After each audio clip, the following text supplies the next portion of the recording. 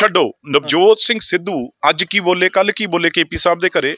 ਵੀ ਮੈਂ ਇਹ ਬਹੁਤ ਮੈਂ ਵਧਾਈ ਦੇਣ ਵਾਲਾ ਕੰਮ ਆ ਨਵਜੋਤ ਸਿੰਘ ਸਿੱਧੂ ਜੀ ਨੂੰ। ਮੈਂ ਕਦੇ ਵੀ ਲੀਡਰ ਦੇ ਉਲਟ ਕਦੇ ਜਿਹੜਾ ਪਾਰਟੀ ਦੇ ਉਲਟ ਬੋਲਿਆ ਜਾਂ ਮੈਂ ਉਹਦੇ ਘਰੇ ਗੱਲ ਕੀਤੀ। ਪਰ ਨਵਜੋਤ ਸਿੰਘ ਸਿੱਧੂ ਹੁਣਾਂ ਨੇ ਕੱਲ ਕੀ ਕਿਹਾ ਕੇਪੀ ਸਾਹਿਬ ਦੇ ਘਰੇ? ਵੀ ਮੈਂ ਚਾਹੇ ਰਾਜਾ ਬੜਿੰਗ ਜੀ ਨੇ ਚਾਹੇ ਕੋਈ ਵੀ ਪਾਰਟੀ ਦਾ ਜਿਹੜਾ ਪ੍ਰਧਾਨ ਆ ਮੈਂ ਇੱਕ ਸਿਪਾਹੀ ਤੌਰ ਤੇ ਕੰਮ ਕਰਨਾ ਉਹਨੇ ਸਪਸ਼ਟ ਕਰਤਾ ਵੀ ਗੱਲ ਕਿੱਥੋਂ ਰਹਿ ਗਈ ਲੜਾਈ ਦੀ ਹੁਣ? ਰਹਿ ਗਈ ਕੋਈ? ਸਰ ਤੁਸੀਂ ਨਾ ਚੱਲੋਗੇ ਤੇ ਕਿਉਂਕਿ ਜਦੋਂ ਮੈਂ ਤਾਂ ਕਿਹਾ ਜੀ ਮੈਂ ਜਦੋਂ ਨਵਜੋਤ ਸਿੰਘ ਸਿੱਧੂ ਹੁਣਾਂ ਨੇ ਇਹ ਕਹਿਤਾ ਵੀ ਮੈਂ ਪਾਰਟੀ ਪ੍ਰੈਜ਼ੀਡੈਂਟ ਦੇ ਥੱਲੇ ਇੱਕ ਸਿਪਾਹੀ ਬਣ ਕੇ ਕੰਮ ਚਾਹੁੰਦਾ ਸੀ ਸਿਪਾਹੀ ਅਸੀਂ ਆ ਤੇ ਬਗੈਰ ਗੱਲ ਲੜਾਈ ਕਾਦੀ ਰਹਿ ਗਈ? Navjot Singh Sidhu sir prominent leader ਨੂੰ ਮਿਲ ਰਿਹਾ ਕਾਂਗਰਸ ਨੂੰ ਲੱਗਦਾ ਕਿ ਵੱਡਾ ਕੋਈ ਅਹੁਦਾ ਮਿਲ ਸਕਦਾ ਆਉਣ ਵਾਲੇ ਦਿਨਾਂ ਨਹੀਂ ਮੈਨੂੰ ਉਹ ਗੱਲ ਤਾਂ ਨਹੀਂ ਪਤਾ ਉਹਦਾ ਦਿਨ ਤਾਂ ਹਾਈ ਕਮਾਂਡ ਦਾ ਕੰਮ ਆ ਪਰ ਮੈਂ ਉਹ ਦੱਸਦਾ ਵੀ ਉਸ ਇਲੈਕਸ਼ਨ ਲਈ ਜਿਹੜਾ ਬਹੁਤ ਵੱਡਾ ਆਮ ਆਦਮੀ ਪਾਰਟੀ ਨੂੰ, ਬੀਜੇਪੀ ਨੂੰ ਕਾਲੀ ਦਲ ਨੂੰ ਲੱਗਦਾ ਸੀ ਵੀ ਨਵਜੋਤ ਸਿੰਘ ਸਿੱਧੂ ਆ ਕੇ ਪਤਾ ਨਹੀਂ ਕੀ ਕਰ ਦੇਣਗੇ। ਤੇ ਮੀਡੀਆ ਵਾਲੇ ਵੀ ਬੜੇ ਚਾਅ ਨਾਲ ਉਡੀਕ ਰਹੇ ਸੀ ਵੀ ਕੋਈ ਨਾ ਕੋਈ ਇਹ ਗੱਲ ਕਰਨ।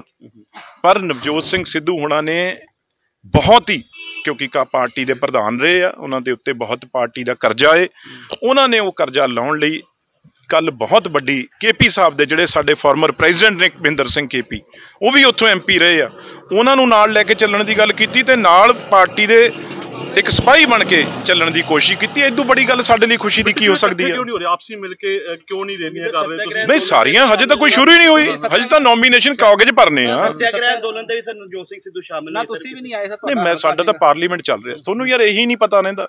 ਦੱਸੋ ਤੁਸੀਂ ਸਵਾਲ ਉਹ ਪੁੱਛਿਆ ਕਰੋ ਪਹਿਲਾਂ ਥੋੜੀ ਤਿਆਰੀ ਕਰਿਆ ਕਰੋ ਵੀ ਅਸੀਂ ਕਿੱਥੇ ਹੁੰਨੇ ਆ? ਤੁਹਾਨੂੰ ਜੇ ਇਹ ਨਹੀਂ ਪਤਾ ਵੀ ਪਾਰਲੀਮੈਂਟ ਸੈਸ਼ਨ ਚੱਲ ਰਿਹਾ ਜੇ ਮੈਂ ਉਰੇ ਨਹੀਂਗਾ ਤੇ ਅਸੀਂ ਕਾਲੇ ਕੱਪੜੇ ਪਾ ਕੇ ਉੱਥੇ ਜਿਹੜਾ ਜੇਲ੍ਹਾਂ 'ਚ ਬਹਿਨੇ ਆ ਉਹ ਦੋਨੋਂ ਜਗ੍ਹਾ ਇੱਕ ਦਿਨ ਮੈਂ ਪ੍ਰਗਟ ਕਿਵੇਂ ਹੋ ਸਕਦੇ ਆ? ਕੋਈ ਕੋਈ ਅਸੀਂ ਕੋਈ ਭੂਤ ਜੇ ਇੰਨਾ ਵੀ ਇੱਕ ਦਿਨ ਲੁਧਿਆਣੇ ਵੀ ਹੋ ਜਾਾਂਗੇ ਤਾਂ ਦਿੱਲੀ ਵੀ ਹੋ ਜਾਾਂਗੇ। ਸ਼ਾਮਿਲ ਨਹੀਂ ਹੋਏ ਸੀ ਸਰ ਹੈ ਜੀ? ਸੱਤਿਆਗ੍ਰਹਿ ਸ਼ਾਮਿਲ ਨਹੀਂ ਹੋਏ ਨਵਜੋਤ ਸਿੰਘ ਸਿੱਧੂ ਸਰ ਦੇਖੋ ਹੁਣ ਤੁਸੀਂ ਕੀ ਕੇ ਮੇਰੇ ਤੋਂ ਚਾਹੁੰਦੇ ਹੋ? ਨਹੀਂ ਤੁਸੀਂ ਕੀ ਚਾਹੁੰਦੇ ਹੋ? ਮੈਂ ਕੀ ਕਮਾਂ ਦੱਸੋ? ਉਹ ਕਹਿ ਦੇਣਾ ਤੁਹਾਡੀ ਤਸੱਲੀ ਕਿਵੇਂ ਹੁੰਦੀ ਹੈ ਉਹ ਦੱਸੋ ਮੈਂ ਉਹ ਕਰਾ ਦਿੱਤੀ ਸੀ ਕਿ ਉਹਨਾਂ ਦੀ ਵਾਈਫ ਦੀ ਮੀਟਿੰਗ ਨਹੀਂ ਸੀਗੀ।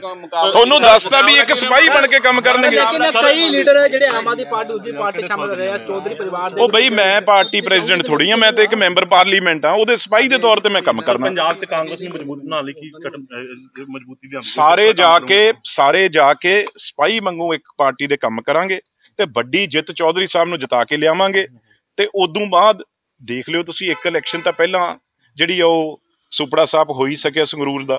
ਤੇ ਹੁਣ ਜਦੋਂ ਜਲੰਧਰ ਦਾ ਹੋ ਜਾਊਗਾ ਫਿਰ ਤੁਸੀਂ ਦੇਖ ਲਿਓ ਵੀ ਕਿਹੜੀ ਪਾਰਟੀ ਦਾ ਕੀ ਬਣਦਾ ਏ। ਉਸ ਤੋਂ ਬਾਅਦ ਕਿਸਾਨ ਉਸ ਤੋਂ ਬਾਅਦ ਕੀ ਆ? ਨਗਰ ਨਿਗਮ ਦੇ ਅੱਜ ਅੱਜ ਨਗਰ ਨਿਗਮ ਇਹਨਾਂ ਨੂੰ ਪੁੱਛਿਓ ਤਾਂ ਜਿਹੜੇ ਭੱਜੇ ਹੋਏ ਨੇ। ਇਹਨਾਂ ਨੂੰ ਸਵਾਲ ਪੁੱਛੋ ਤਾਂ ਜਾ ਕੇ ਵੀ ਜਿਹੜੇ ਆਮ ਆਦਮੀ ਵਾਲੇ ਆ ਵੀ ਨਵਾਂ ਨਿਗਮ ਦੀਆਂ ਇਲੈਕਸ਼ਨਾਂ ਕਦ ਕਰਾਉਣੀਆਂ ਕਿਉਂ ਭੱਜੇ ਹੋਏ? ਹੁਣ ਤਾਂ ਟਰਮ ਵੀ ਖਤਮ ਹੋ ਗਈ। ਪਤਾ ਲੱਗਿਆ ਏ ਸੂਤਰਾਂ ਤੋਂ ਪਤਾ ਲੱਗਿਆ ਜਿਵੇਂ ਤੁਸੀਂ ਕਹਿੰਦੇ ਨੇ ਸੂਤਰਾਂ ਤੋਂ ਪਤਾ ਲੱਗਿਆ ਸਾਨੂੰ ਵੀ ਸੂਤਰਾਂ ਤੋਂ ਪਤਾ ਲੱਗਿਆ ਵੀ ਵਾਰਡ ਨਹੀਂ ਬਣੇ। ਜਿਹੜੇ ਕਾਂਗਰਸ ਛੱਡ ਕੇ ਗਏ ਨੇ ਰਾਜਾ ਵੜੀ ਕਹਿੰਦੇ ਗਦਾਰ ਨੇ। ਤੁਸੀਂ ਮੰਨਦੇ ਹੋ ਕਿ ਗਦਾਰ ਨੇ ਉਹਨਾਂ ਨੂੰ ਗਦਾਰਾਂ ਦੀ ਫੋਟੋ ਲਾਣੀ ਚਾਹੀਦੀ ਹੈ ਇਦਾਂ ਦੀ ਦੇਖੋ ਮੈਂ ਮੈਂ ਕਿਸੇ ਦੀ ਗੱਲ ਤੇ ਮੈਂ ਆਪ ਕਿ ਜਵਾਬ ਕਿਵੇਂ ਦੇ ਸਕਦਾ? ਤੁਸੀਂ ਕਿਸ ਤਰ੍ਹਾਂ ਦੇਖਦੇ ਹੋ ਇਸ ਜਿਹੜੇ ਕਾਂਗਰਸ ਛੱਡ ਕੇ ਜਾ ਰਹੇ ਨੇ, ਜਿਨ੍ਹਾਂ ਨੂੰ ਕਾਂਗਰਸ ਨੇ ਬਹੁਤ ਕੁਝ ਦੇਤਾ? ਉਹਨਾਂ ਨੂੰ ਪੈਨਸ਼ਨ ਲਾਉਣੇ ਆ